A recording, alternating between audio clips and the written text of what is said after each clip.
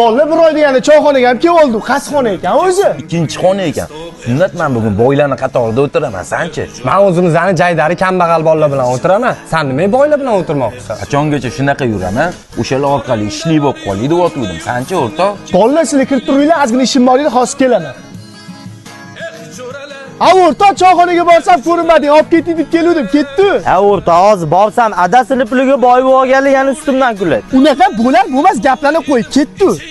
Sen o'rtoq, bolalar yaxshimisizlar, charchiryapsizlarmi? Ha o'rtog'im bilan biza qayerda o'tiraylik? nima deganing xohlagan joyingga o'tir Prosta boyaman, boyman, kambag'al qatorda o'tiraman deganlari uchun so'rayapman. Menimcha choyxonaga boysan yo kambag'alsan deb ajratgan emas, Nidor g'animat qilgan ekanlarmiz. Bilmayman o'zlari 3 ta 4 ta bola ustki guruh qilib turib, bitta boysan, bitta kambag'alsan desalar, bitta narsani bo'lib qo'yadi. Вообще bitta choyxonada mujiklar o'tiradi. Sog' bo'laring, o'rtoq ketdi. O'rta, ne unaqa ish qilding? Ey o'rtoq, bunaqa latta chaynallar bilan bitta stolda osh yegandan ko'ra ko'chada mushuklar bilan yegan yaxshi. Mana qaranglar o'rtoqlar, mana shu videoni boy o'rtoqlarga tupurib, kambag'al o'rtoqlar paddishi qiladigan o'rtoqlarga jo'natib qo'yamiz. do'stim deding dunyo ne'matlari yolg'on.